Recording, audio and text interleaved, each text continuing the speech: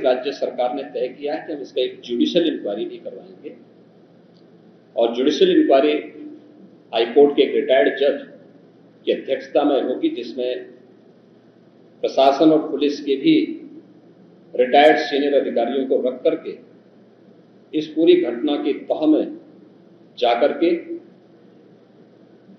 जो भी इसके लिए दोषी होगा, उन्हें इसकी सजा देना और इस घट, इस प्रकार की घटना की पुनरावृत्ति न हो। इनके बारे में एक सुझाव और एक एसओपी उनके माध्यम से बनाई जा सके, जिसे आगे इस प्रकार के किसी भी बड़े आयोजन में लागू किया जा सके। यह हम लोग सुनिश्चित करेंगे। केंद्र और राज्य सरकार ने आर्थिक सहायता की भी घोषणा की है।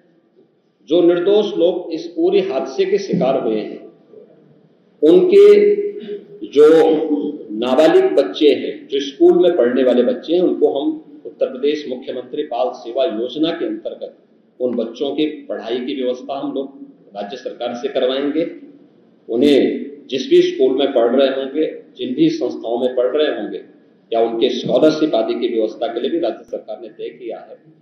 और प्रत्येक मृतक के परिवारजन को भी केंद्र और राज्य सरकार मिलकर के चार लाख रुपए की सहायता और गंभीर रूप से घायल व्यक्ति को एक लाख रुपए की सहायता दे रही है।